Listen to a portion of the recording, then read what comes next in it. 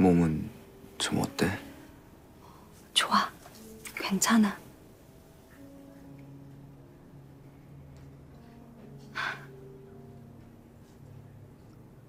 오빠. 어. 지금 와서 이런 말 하는 게 무슨 의미가 있을까 싶지만 거짓말하고 헤어지자고 한 거 정말 미안해. 오빠가 나 때문에 힘들어 한다고 생각했어. 오빠 일만으로도 피곤하고 지치는데 나까지 오빠 힘들게 한다고 생각했어.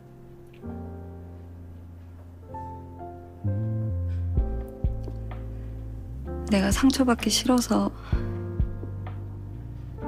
오빠한테 상처 줬어. 내가 이기적이었어. 미안해.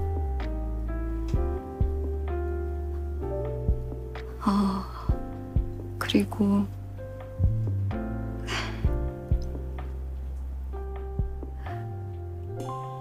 나 아직 오빠 좋아해. 그래서 사진 갖고 있었어.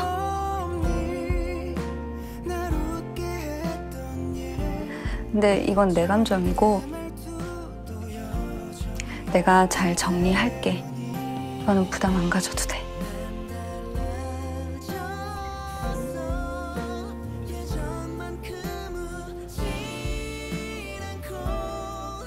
앞으로 우리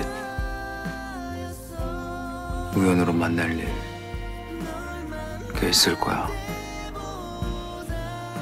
그럴 때마다 너 아무렇지 않게 나 볼 수 있어.